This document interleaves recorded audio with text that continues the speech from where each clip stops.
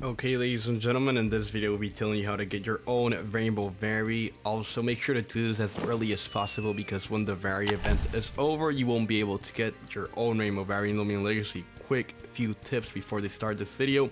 One, to get this Vari, this will require a lot of fighting, so make sure to bring a lot of PvP Loomians, or you can just do what I did, and basically what I did was, I brought OP Roamers, because apparently Roamers literally can destroy any Loomian in game, and the other tip is, make sure to watch the entire video, because you are going to literally have to, in order to find the trainers they have to battle.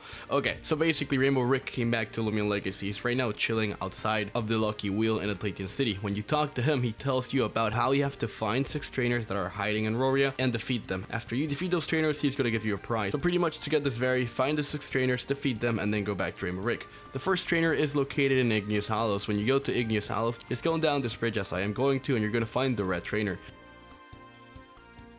The second trainer is located in Route 3 near the construction. When you get here, just do as I am basically doing, and you're going to find the trainer hiding here. Third trainer is located in Gale Forest, just enter Gale Forest, take a right, and the trainer is going to be behind the tree.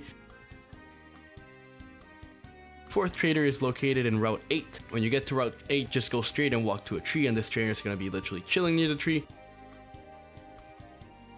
Fifth trainer is located in Lodestone Beach. Just walk down the stairs when you get here, and you're going to find it near the tree. Why are all these trainers located in trees? And finally, the sixth trainer is located in Route 5. Just go to the pond over here where there are the Ventasian in the water and the, you're gonna find the trainer just chilling over here. After you defeat these six trainers, go to Rainbow Rick, you talk to him, he's gonna be like, yo, that's so cool, you're so cool. And then he's gonna reveal that there's actually a seventh mystery trainer that you gotta battle.